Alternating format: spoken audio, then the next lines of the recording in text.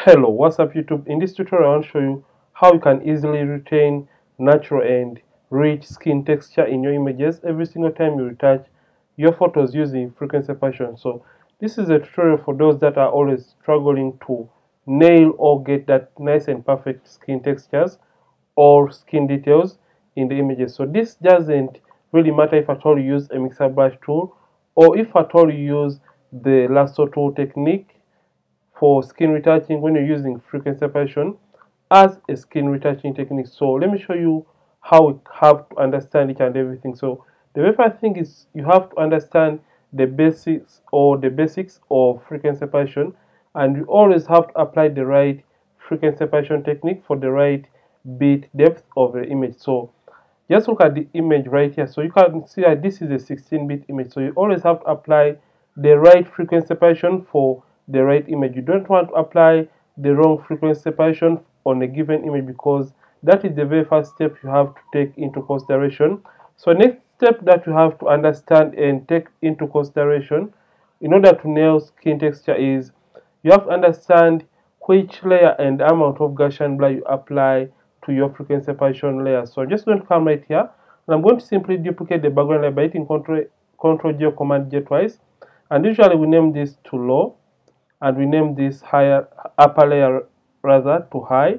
And now we turn this off. So I want to show you the basis from the very start. So that when you're playing your action you don't mishandle or misuse this first step. So the step I'm about to show you is the one that is going to determine the amount of skin textures that you're going to be remaining with in your image. So if I told you misuse this step that I'm about to show you you're not going to be able to nail or get that nice and perfect skin details in your images. So just come and select the low frequency layer. So usually this is the point when your action stops and you apply a given Gaussian blur radius to your image. So we select the low frequency layer and just come right here to filter. Then we come to blur and come down to Gaussian blur right here. So when you come to Gaussian blur, this is the most important step for your skin texture. So you have to zoom in and look for an area that has many or prominent skin textures in your image. So for this case, I'm going to be using this as a reference.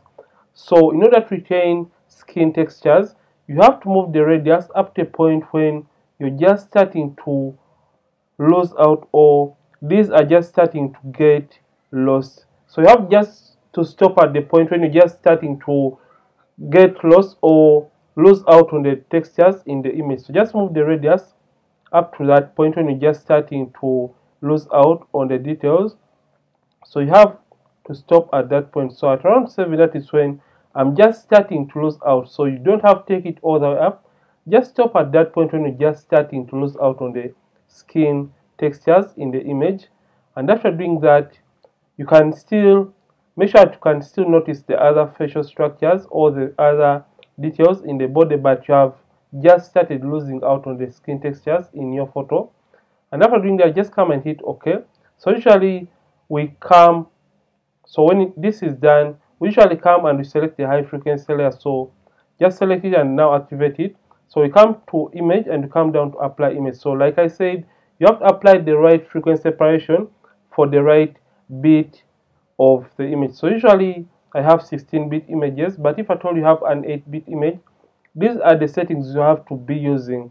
So if I told you have an 8 bit frequency separation action, it is automatically going to do this for you. But if I told you don't know everything, this is what you have to consider right now.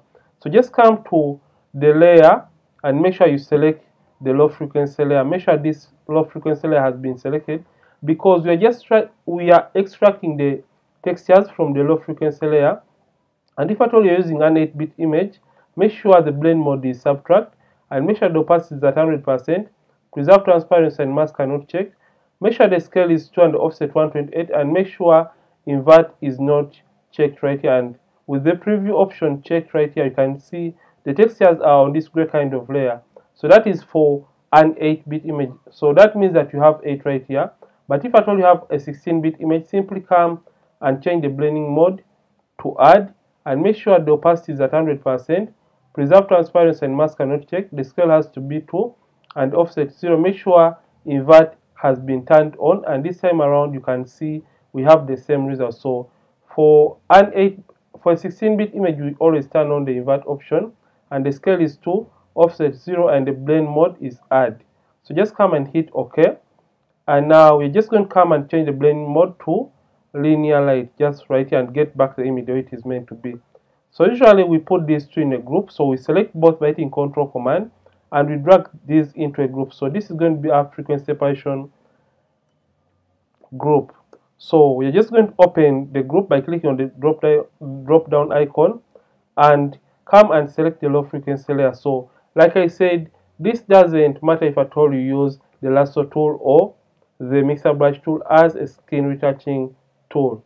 So for the first kind of people, I'm just going to deal with those that use only the mixer brush tool to retouch. So come under the brushes, simply right click, and you get your mixer brush tool and make sure you set it right.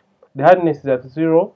And now make sure it is a clean brush and also make sure that clean brush after each and every stroke has been checked right here and is highlighted in black or a darker color. The weight I'm going to be using is 9%. The load is 75%. The mix is 90% and the flow of 100%. Make sure sample all layers is not checked because when you check this sample all layers option and you paint on the image, it means that it's going to also sample the textures and also paint them in the low frequency layer. And you're going to be getting a very rough and weird texture. So make sure sample all layers has not been checked.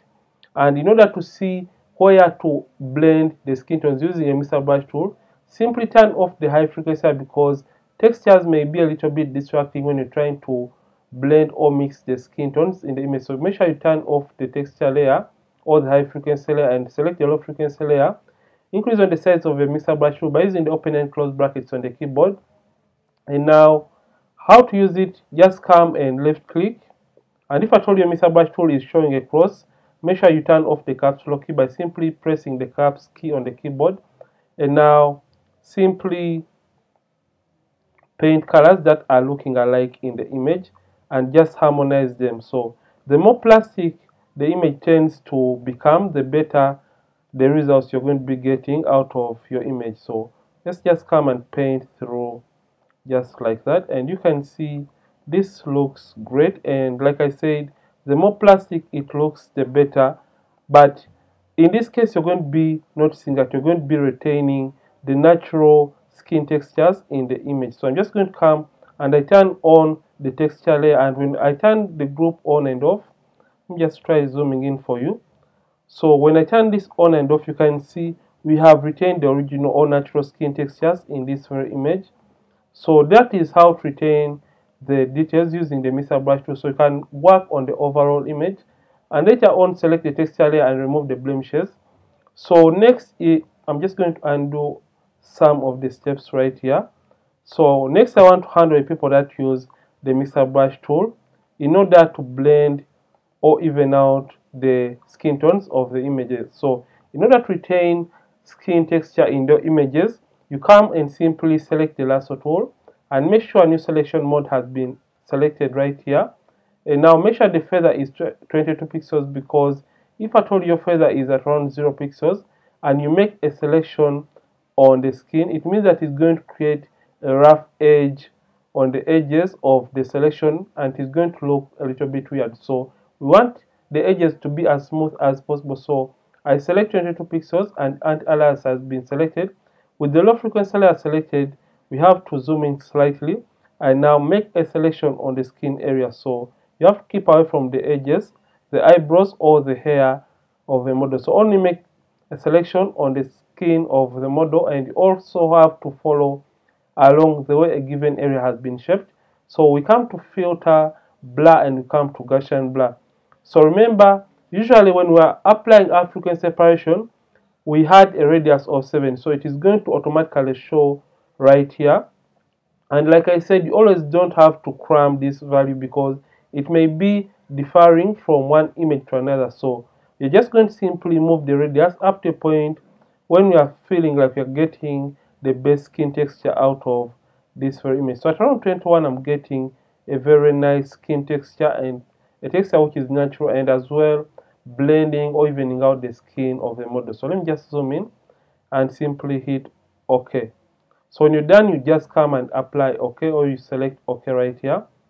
And you can see that looks okay but I would always recommend that you always first of all use the mixer brush tool and use this technique to refine the image and you're going to be having the best out of your image or out of your retouching process but if at all you want a technique that is going to show you and you don't have to slide after selecting using the lasso tool.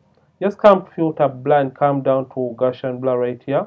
So remember we had a radius of 7 so usually multiply this radius by 3 and just type in the value. So for whichever radius you may have used for your images just multiply that radius by 3 and when you reach the step for lasso tool multiply the radius by 3 and just type in that value. So 7 by 3 is 21 and you can see I have a very nice and detailed skin texture just like that. And in order to apply it on other areas just come and make a selection. Right click and you apply your Gaussian blur. And you can see it works better but I would always recommend use the lasso tool then also incorporate the rather use the mixer brush tool and later on incorporate the mixer use the mixer brush tool and later on incorporate the lasso tool technique to fine tune your image. So first of all use the mixer brush tool and later on use the lasso tool technique to fine tune the image even more. So this is it for today's tutorial and if at all you love this don't forget to like this video and don't forget to subscribe this channel. If at all you have been watching and you're not subscribed this channel Ronnix from Ronnix Photography. Thank you for watching. See you in yet more amazing tutorials. And don't forget keep practicing and also keep creating